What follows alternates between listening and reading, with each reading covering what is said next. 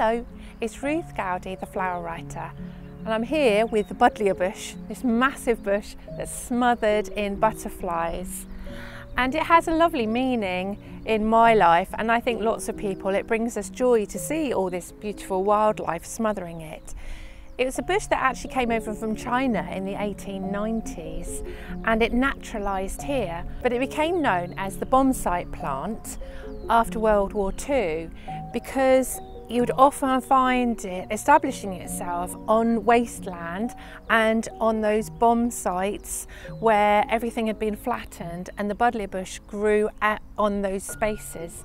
So it has a kind of sense of regeneration about it, meaning regeneration and some kind of beauty out of something that's really sad. So an opportunity to transform. But of course, the butterfly bush is the more common name that we know it by. And what better plant to represent transformation? And what a beautiful flower it has, these long spires with densely clustered flowers and they have a honey fragrance. That's obviously what attracts all the insect life to them. And for me, and I believe many people, a butterfly has real spiritual significance in the sense of it started out life as a caterpillar and who would have thought that that caterpillar that crawled along and nibbled on the leaves would transform into this beautiful creature that could fly and soar in the air.